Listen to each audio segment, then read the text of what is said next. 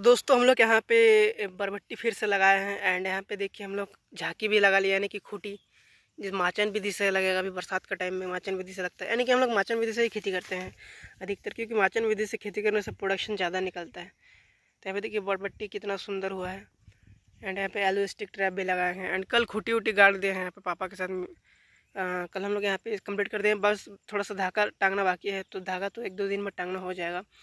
क्योंकि भाई भी ग्रोथ स्टार्ट हो चुका है क्योंकि इसमें भाई हम लोग ह्यूमिक एसिड चलाए थे। और जी, उन्नीस उन्नीस चलाए हैं, उसके बाद डीएपी यूरिया पोटास तो एक बार चला दिए मतलब दूसरा बरबट्टी में चल रहा था तो इसमें भी चल दिया, इसीलिए इसका ग्रोथ तेज़ी से होने लगा है। एंड आज इसमें ना वो चलाएँगे, क्या बोलते हैं क्या बोल, शक्तिमान चलाएँगे। शक्तिमान चलाने से और ज़्यादा ग्रोथ होगा।